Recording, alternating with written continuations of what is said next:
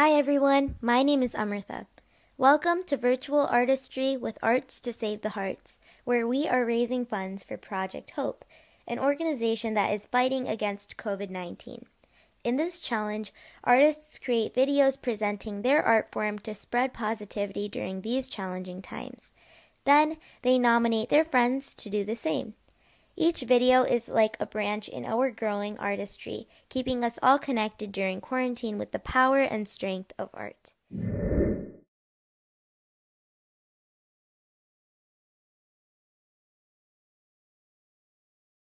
Hi everyone, Namaskaram. My name is Akhil Paulraj.